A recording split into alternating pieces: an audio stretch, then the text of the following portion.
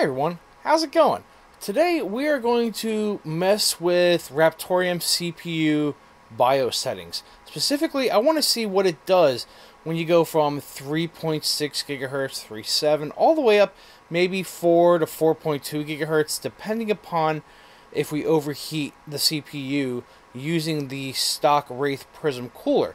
And we want to see how much power we're pulling, how much more hash rate you get for it, and see okay, great, we can run really efficient, but does it really matter? And does it help to go up higher and burn more wattage to get that little extra bit of hash rate? So, let me flip the camera around. What I got here is my little test bench sitting over here in the corner.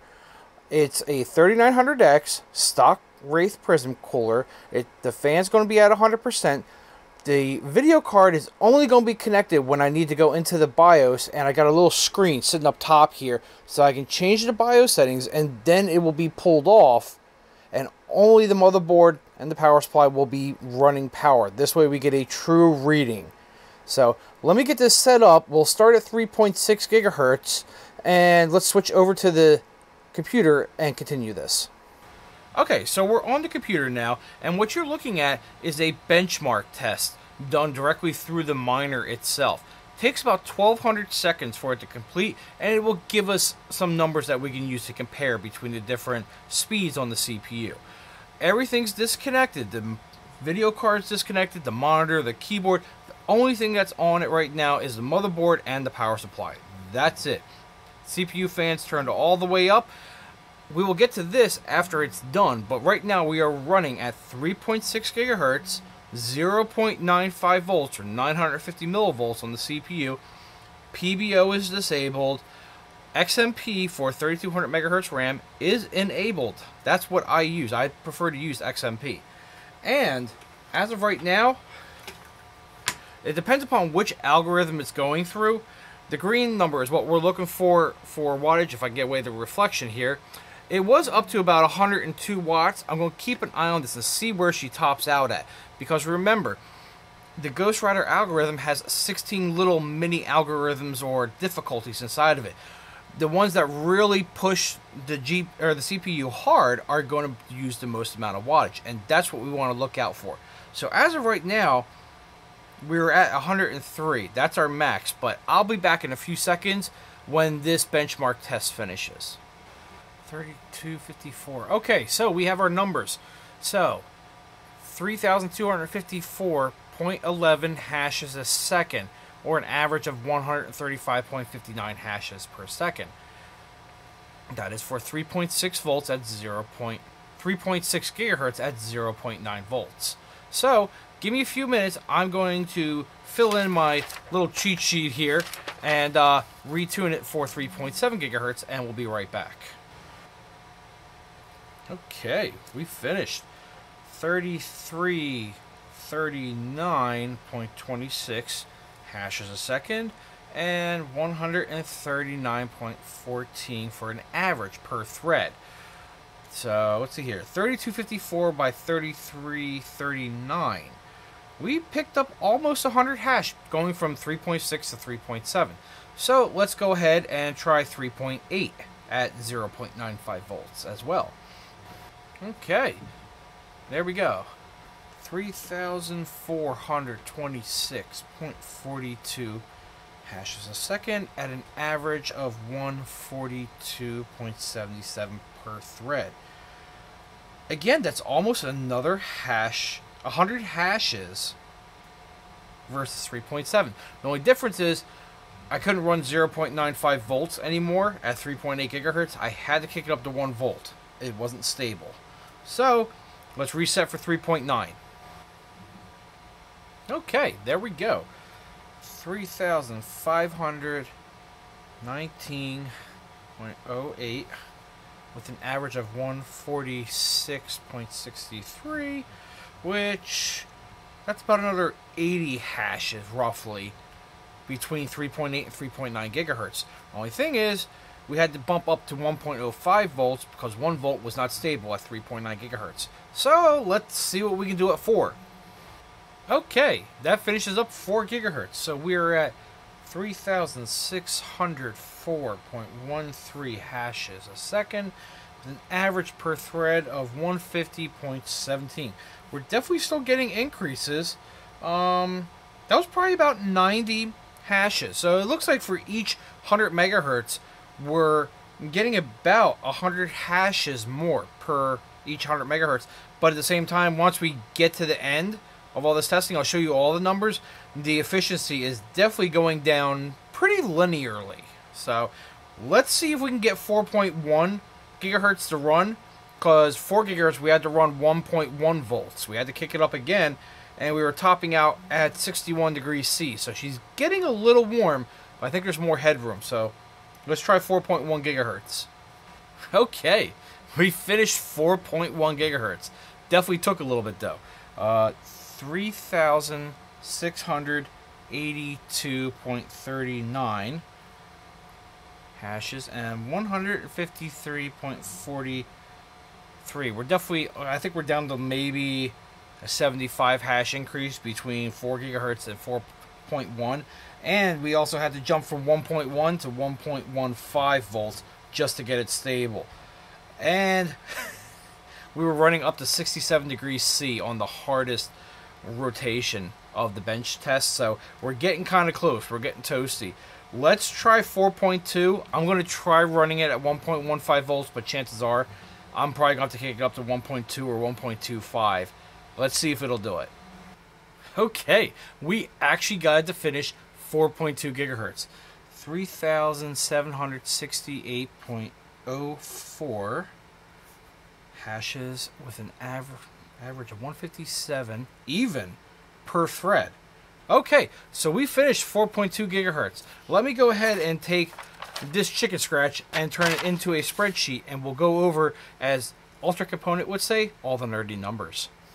Okay, so yes, here's all the nerdy numbers. His catchphrase, not mine. We're running an ASRock B450M Pro 4 version 2 motherboard 3900X with the stock Wraith Prism cooler. On the side of the cooler, the little switch from low to high is on high, and in the BIOS, the fan is set to 100% on all these tests, so this way that is not a variable. RAM is G Skill 3200 megahertz CAS 16. It's basically two sticks of 4 gigabytes each. So we're running dual channel here. EVGA Supernova 750 watt platinum power supply. So even though we're not pulling that much power overall and the efficiency won't be that good on it, it's a little bit better than running either a gold or even a bronze power supply at such a light load. We're running CPU Miner dash op dash GR Ghost Rider version 1.2.2 for this test. Now, here we go. We went from 3.6 gigahertz, which we were able to achieve at 0.95 volts, again at 3.7 then we have to start kicking up the voltage to make sure the CPU is stable. 1 volt at 3.8, 3.9 gigahertz, we need 1.05 volts. Then we're up to 1.10, 1.15, and just to get 4.2 to work, 1.2 volts, which actually 4.2 gigahertz all core at 1.2 volts is pretty darn good for a 3900X. I probably won the silicon lottery here. If you're trying to replicate this, you might have to go up to 1.25 volts to get it really stable. Your mileage will vary. So let's look here. On the lowest difficulty rotation, which was actually rotation 6.1 and 6.2 in the benchmark test, the lowest amount of power pulled at the wall was 78 watts, and the highest, the hardest rotation was rotations 16.1 and 16.2 in the benchmark. And those pulled 104 watts.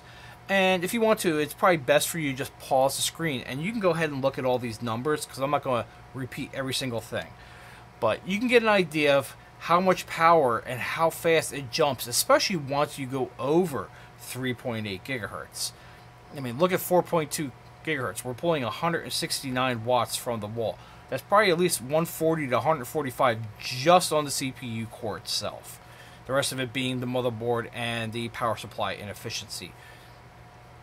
And we can see, even with temperatures, I mean, it runs stone cold, relatively speaking, all the way up to.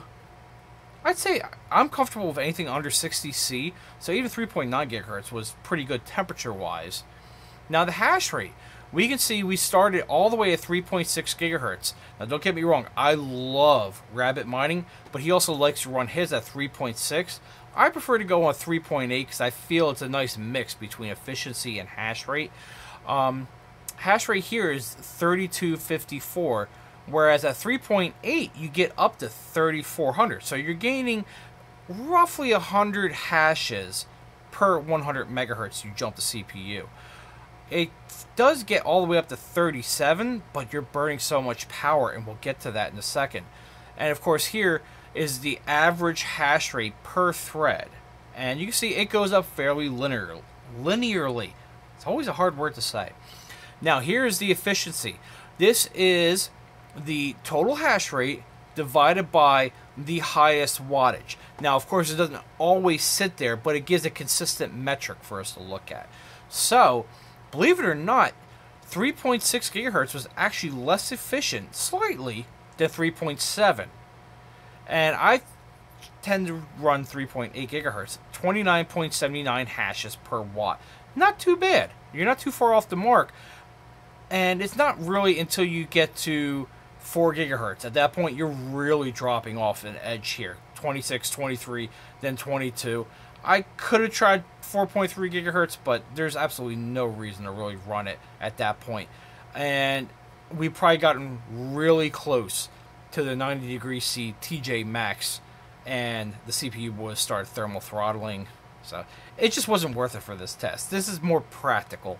So take this whichever way you want to. Here's the data. Rabid Mining Lake's running 3.6 gigahertz. I run 3.8.